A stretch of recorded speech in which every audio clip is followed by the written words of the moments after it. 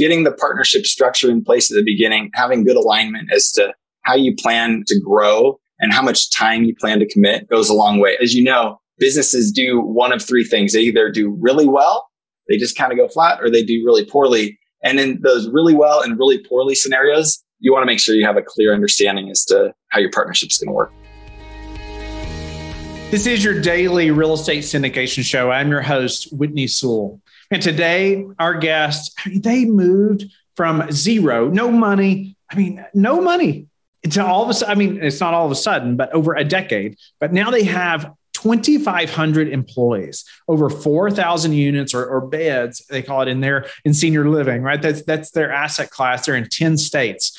And we're going to go in a little deeper with this uh, guest, and we're going to do a couple shows with them. And we're going to talk about how they did that, right? And, and I feel like it doesn't matter what asset class you're in, you're going to learn a lot from our guest today, Adam Benton. Adam is the Senior Vice President of Stellar Senior Living. He was recognized nationally by Argentum, the leading industry association, with a 40 under 40 award for leadership.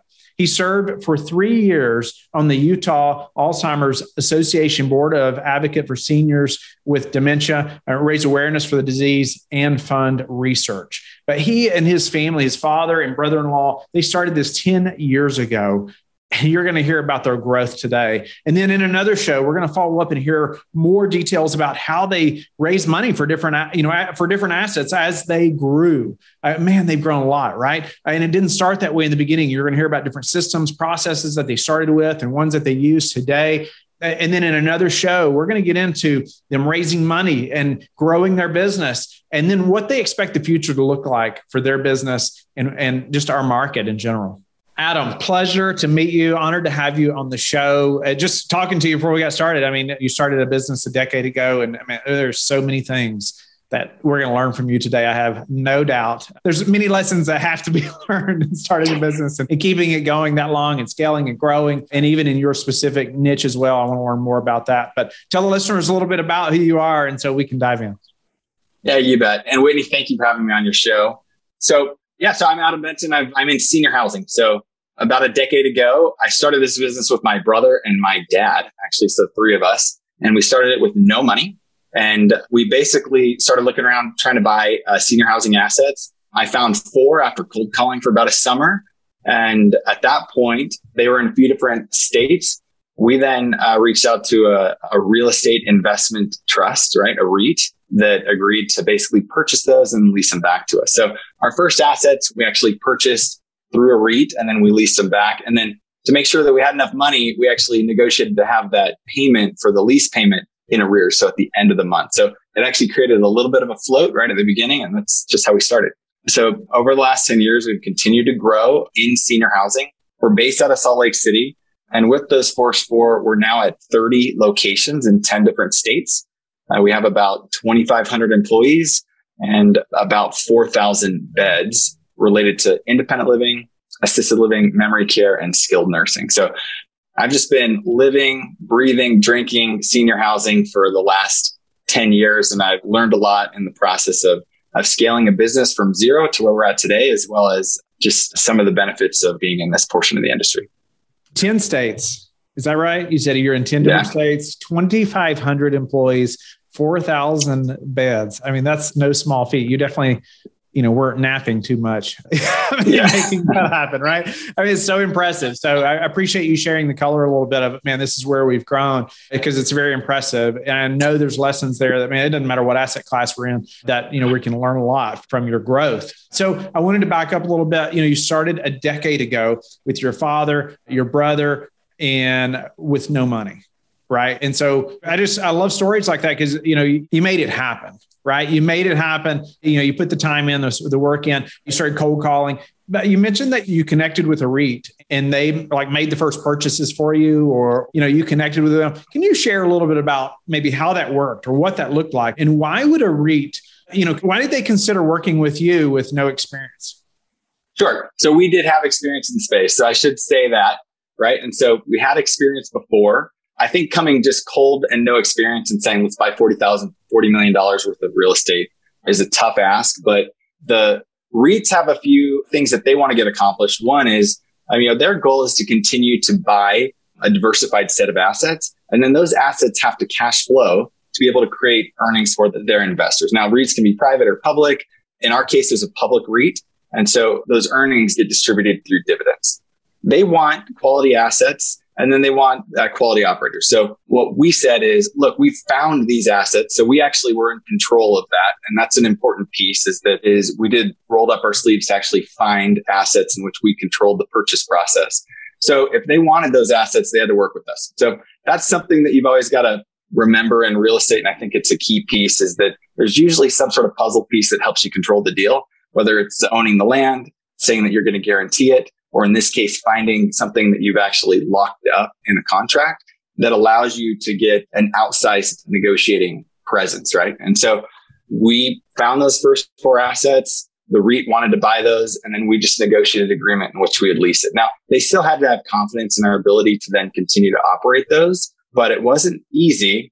And when I say we started from scratch, like we had no policies or procedures or anything. And so when somebody would call and ask for, Hey, what does that form look like? Go, great, give me like 30 minutes, you know, ah, go make the form, send it out. Does that look right? So those are the kind of things that we really had to hustle at. And you're just working a ton. But over time, you just, what's difficult gets easier. And as you continue to grow the platform, you can bring on more team members to help you out. But yeah, I mean, I don't know if that answers your question, but partnering with a REIT at the start was a very good way to start. We now, of those 30 assets, we have various partnerships in different structures. The lease structure, like at the beginning, we have some that we own outright through the cash flow of our own business. We have some in which we just do joint ventures where we might be the GP and then we have LPs and we have a promote. And then lastly, we have just third party management stuff where somebody else owns it. They're looking for an operator and we've gotten good enough in which we can step in and operate for a fee. So that's how it looks like today.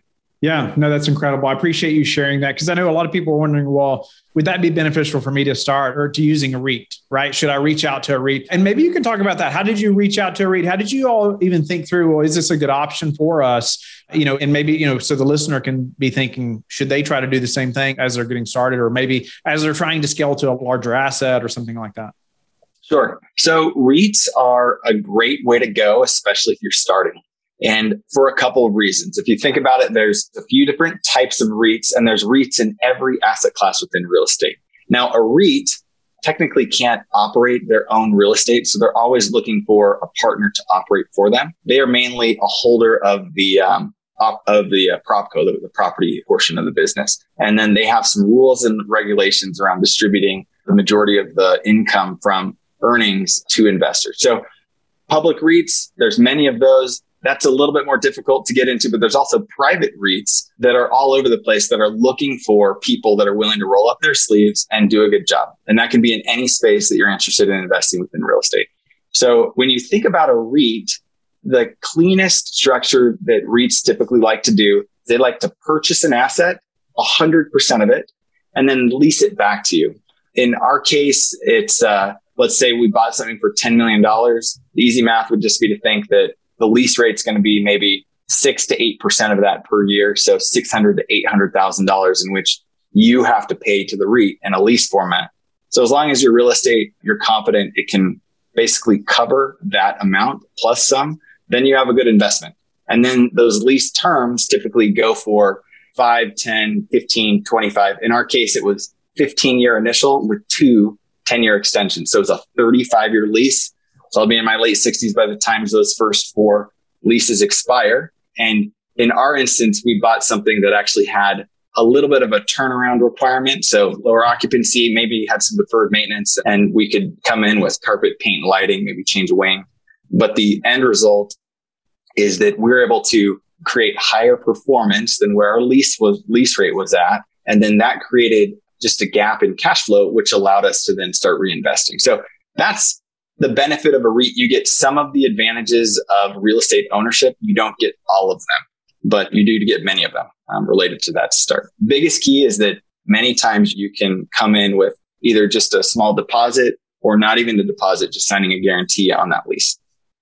I don't know. Did I answer the question? I hope I know it's a big world there on that. No, that's great. No, that's awesome, Adam. I know I get a lot of questions about groups that are wanting to or thinking about partnering with a REIT and don't know if that's something they should do or not. So I know that helps add a little color to maybe some things they should consider. I loved how you, you know you talked about you know negotiating to have control in the deal and some things they should consider, like even the long leases, right? Uh, you know, and how that right. process. That's you said you'll be in your 60s, I think, before those leases are up. So that's something to consider, right? I mean that you know, you, don't look that old to me. So that it's seems a like commitment. a long time. yeah.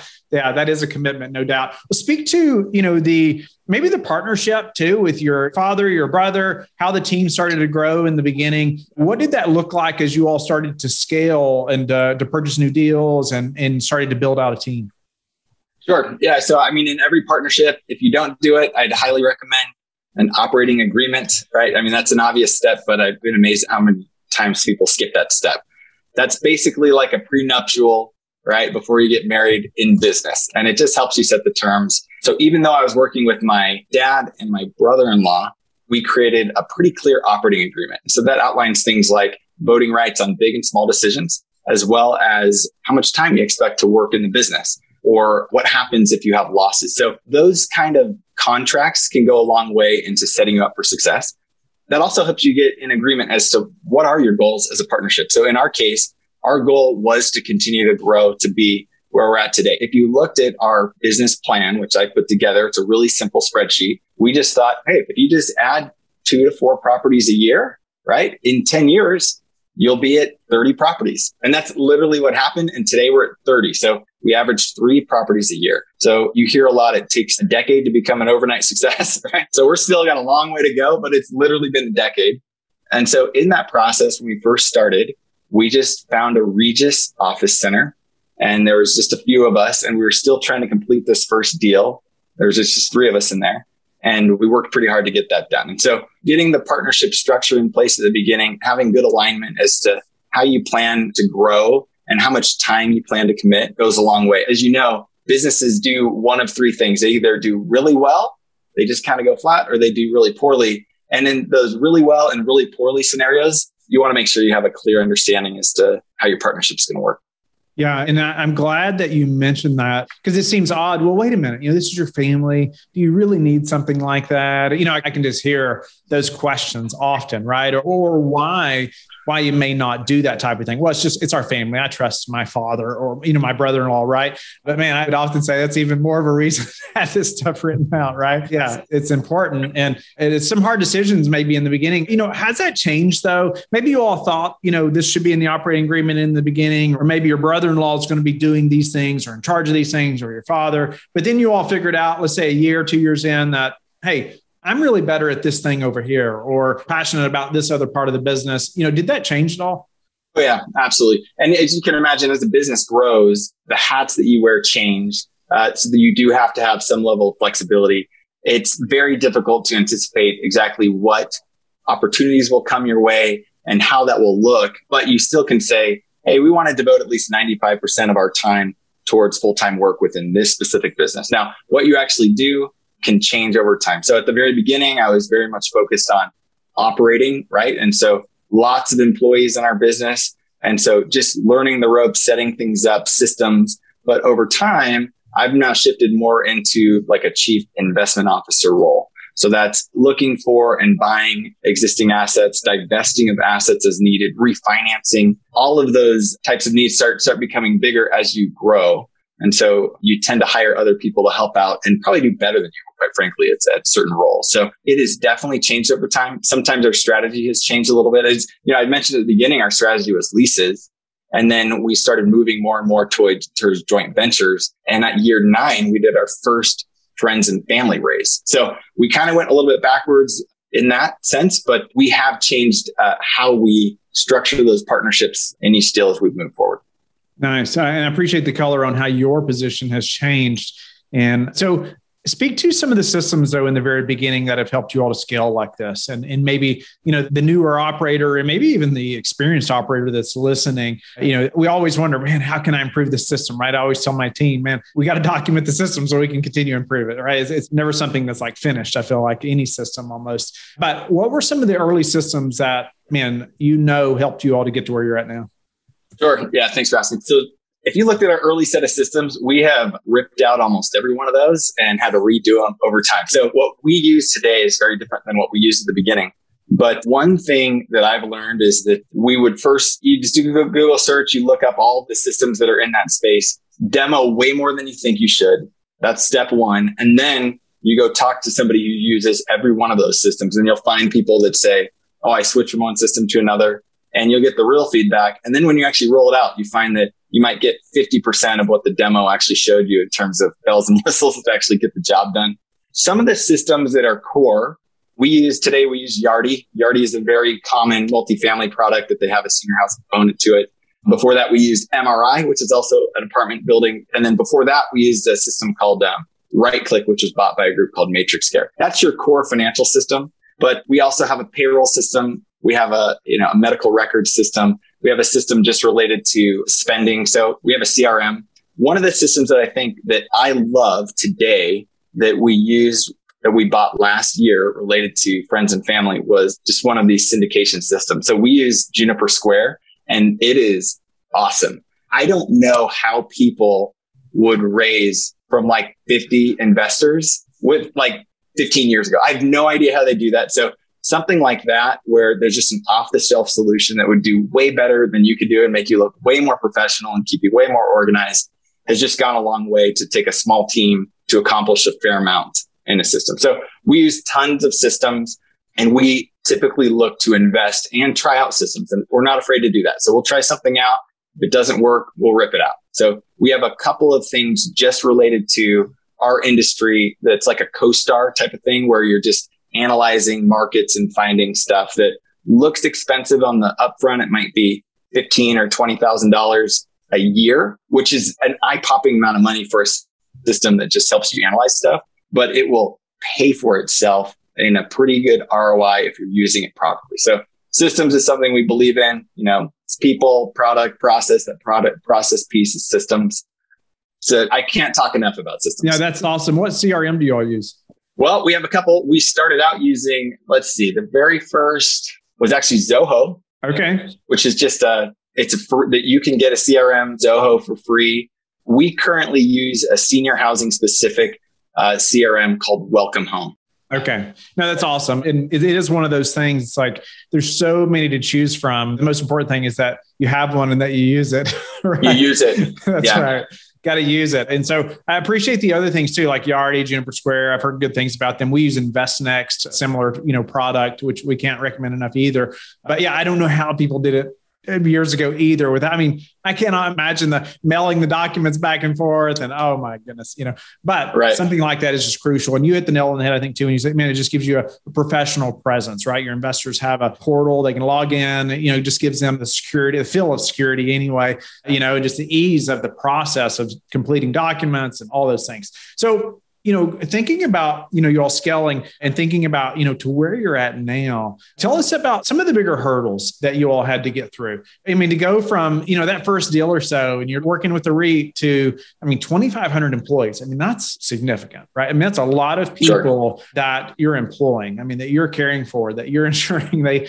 have a great job to come to every day, right? And culture that you're creating and all those things. And so massive growth personal growth for you, no doubt, to make that happen. But speak to some of the hurdles that it took to go from zero, no money, right, to 2,500 employees, 4,000 beds. You know, if you go back, you know, and say, okay, these three things happen, whatever, what would those be? Sure. So I think the first thing is that it seems daunting today to say, hey, you have to set up all these systems and be able to pay people and pay vendors and all that. It's a little bit easier than you think for a lot of reasons. One is it's day by day you don't have to ever think perfect every day. And so that's something that I probably remember right off the bat is that there's a lot of things, especially when you're smaller, you can just do, do by hand that isn't a big deal until you get to a certain size. And then it becomes a big enough friction that it's going to cost you a lot of money and time and that you probably got to think about systems and people to put around that process. I think the very first thing that I didn't fully appreciate at the beginning is just that those very first couple deals are pretty critical to getting correct. And so spending an extra level of time and effort into finding the right deal, sourcing it, underwriting it, and just making sure it's fully correct. That goes a long way. Now, now, one thing that I didn't fully appreciate at the beginning was that even though you might say, well, I don't know exactly, I'm just starting out. How would I know what the best deal looks like? There are a lot of other people that are interested in making sure that these deals succeed. If you end up getting debt on it in any way, a bank is going to go through and do a similar analysis to make sure that your numbers make sense, right? You can also lean on other people that you know in the industry to just say, Hey, can you just review this? If you end up not actually doing your own manage it and management and you hire out a manager, like a, you buy a multifamily property and you hire a manager, they can go through and do their own analysis on that deal. So getting the deal right at the very beginning is very important, but you can also lean on people around you that can just help verify your business plan. I would heavily do that and they're invested in making sure that it's successful as well. And that'll save you a lot of headache and get you onto a good footing. You can make mistakes later, just don't make them at the beginning. That's what I would recommend. Yeah. Yeah, no doubt. Did you all have mentors? Did you all hire a mentor? Who was that for you all? You know, maybe not them specifically, but how did you find that person? You know, and how did they speak into you to help ensure those first few were correct or were good? Sure. So, like I said, we had some experience in the space. So, let's see. So, I went to undergrad for finance. I then went and worked on Wall Street for about five years. I did a master's in finance. I had a lot of educational experience related to that. I had emphasis in real estate, but my father had a lot of experience in this space, specifically in real estate. So he was tremendously helpful in helping avoid some of those landmines. Now, in that point, I've been pretty lucky. So we started when I was 30. I'm now 40, but I've seen many people who find a mentor either in a partner or somebody else who's doing a similar business and it has a similar effect. And so I think the main key though is having a mentor can go a long way in helping save you a lot of headache and trouble. And then just to give you an example, even though I did an undergrad and a master's and worked in finance, when we went out to raise friends and family money, I knew almost zero about that. So what did I do? I just went on to Amazon and I bought three books related to raising money and I read them all. And that was a year ago, right? So even though you think you've just been at this a long time, you can always learn more and it won't cost you the cost of 150 or $200,000 MBA or even an undergrad the information is out there. So podcasts like yours just go a long way in just helping understand what's out there and how to avoid things and how to learn stuff. And then you can always just grab a couple of books. I've also done a couple of specific real estate investment online courses that have taught me way more than anything I ever learned in my undergrad or master's. So I can't emphasize education enough and it's cheaper than you think as long as you want to put in the time. And then just finding a mentor or two that, that are willing to help and people are always willing to help uh, with starting a business or even partner with you on it. So that's my thought around just mentorship and partnering. Yeah. Uh, you mentioned online courses. I don't hear that too often. Are, is there one that you can recommend quickly?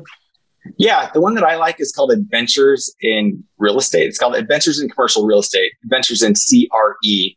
And if you look that one up, I think it's a completely reasonable course and it is a boot camp related to actually doing underwriting. And then the models that they have on their website, we still use many of those today to help in our business with waterfall structures or structures related to just understanding debt. They have it for every real estate asset class.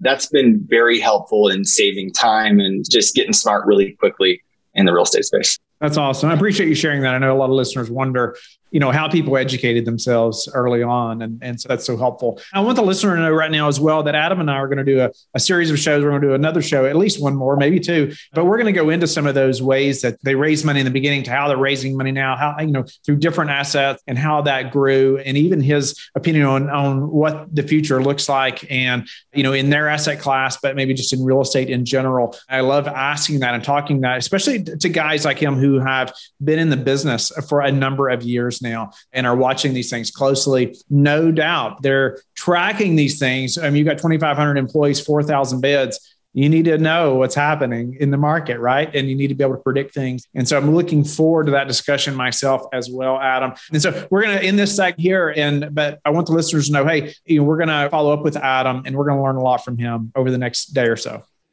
All right. Hey, thanks, Whitney. Thanks for your time today and look forward to more discussions. Uh, Adam, why don't you go ahead and tell the listeners though where they can find you so that find you today? So you can find me on LinkedIn, Adam Benton. Our company is called Stellar Senior Living. I'm happy to connect. And then our website's just stellarliving.com. And we do have an investor portal. If you just fill in that information and send it, I'm happy to set up a call and just talk to you a little bit more individually. Thank you for being a loyal listener of the show. Please subscribe and share it with your friends. We want to help you become the passive investor you've always wanted to become, but also the operator you've always wanted to become. We want to be the number one resource for your real estate investing journey. But go to lifebridgecapital.com where you can start investing in real estate today.